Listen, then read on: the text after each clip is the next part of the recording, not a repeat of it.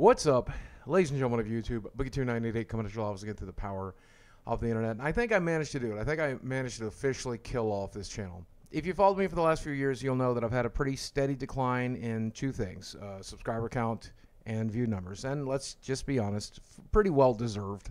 I mean, obviously, a lot of people are going to point towards controversy being the only reason. And that's not the only reason. Uh, you know, obviously, I have been a controversial person over the last few years. Uh, if you're unfamiliar with that, check out one of the hundreds of YouTubers who've made hour long essays about it. Also, a lot of people will point out to the fact that my content never really evolved. You know, there was the Francis videos originally, and those did very well, but one day YouTube woke up and decided to punish me for making all of these videos by demonetizing it, um, pushing them out of the algorithm, and punishing the channel for it. And that's always going to be part of the legacy. I never really learned how to evolve as a creator. I didn't do what every other OG creator did, which is pivot into video essays and hour long things about stuff that I'm interested in. I just I didn't I didn't know how to do that. I don't really have a desire to do that. I just wanted to make what I made. Unfortunately, a lot of the content that I chose to make was me just sitting in this room talking about myself and bitching about my situation. Because after my divorce, I was a very cynical, angry, bitter person who is obsessed with his emotional health, his mental health, his declining physical health, and my declining finances. And that's pretty much all I talked about for three years. I mean, for the better part of three years, I was doing my best impression of the character Jerry Smith from Rick and Morty, someone who was being intentionally pathetic as a defense mechanism and in hopes that people would feel sorry for me and help me and take care of me. And obviously, that just doesn't work. 2022, I did a buttload of therapy, traditional therapy, and in 2023, the beginning of the year, I did something crazy. I got off of all of my antidepressants, and I did some psychedelic therapy.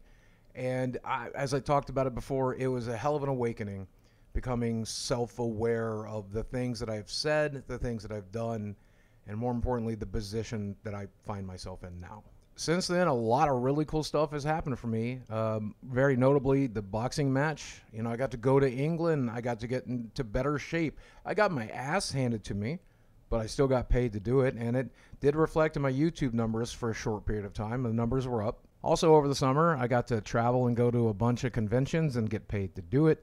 Uh, I got to work with my friend Michael, kid behind a camera, and hang out with him for a while. And I think the most notable thing to happen is a, a, girl that I've been talking to for a while, and I decided to make it official. And she's been living with me for the last three months, and, and we've been pretty damn glad that worked out. In fact, I've noticed something over the last six months. The healthier I become mentally, the more sane, the less provocative, the better, the harder I work on my content and try to make it interesting or something I'm passionate about, the happier I am in my personal life the worse I'm doing on YouTube.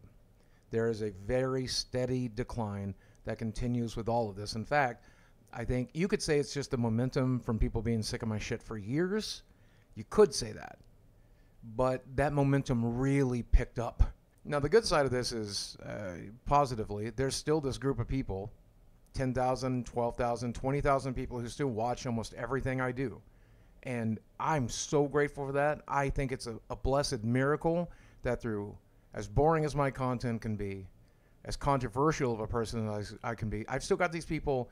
As my writer dies, they got my back. They're rooting for me, and they want to see me get my shit together. But I'm at a point now where, after trying really hard this summer, I think I'm comfortable just admitting to myself and admitting to my fans and admitting to the people that have ever watched me here on YouTube that the dream is over. Uh, this will never be a full time job again.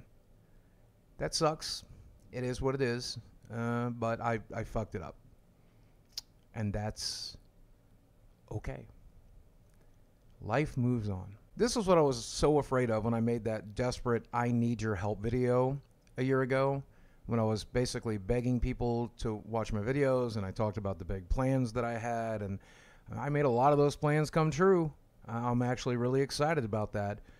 But the reality that I was afraid of is the reality I'm living in now. And I'm here to say to you, I'm here to say to myself, I'm here to say to 2022 Boogie, you think you can't handle it?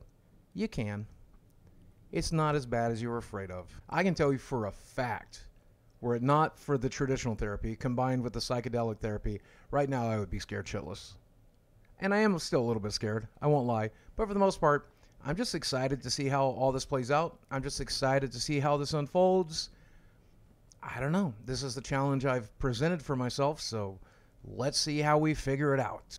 But here comes the e-begging part of the video. I know that's how the internet's going to take it. Uh, but if you go down to the description box below, you're going to see a link to my Whatnot store. That's an app where I'll be selling off my Magic the Gathering collection. You can buy the cards I've owned over the last 30 years. I'll sign cards for you. You can buy other collectibles that I own as well if you want to help out and you want to own a piece of boogie history or magic history or some other thing. While you're down there, there's also going to be a link to my merch store. There's going to be a link to a sponsor. And if you're feeling extremely generous and you just want to give maybe a buck or two, you can always check out channel memberships. And if you don't want to do any of that, but you still think you might like some of the content I've made over the summer or the content that I'll make this fall, do me a favor. Give me a follow. There's nothing wrong with that, and it's entirely free to do.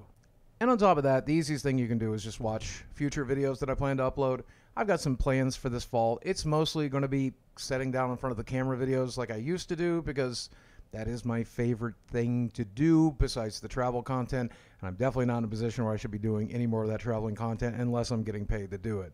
So I hope you'll just uh, dig in and continue watching the videos as you always have, my friend. And as always, thanks for watching. I love you very much, and I will speak with you again.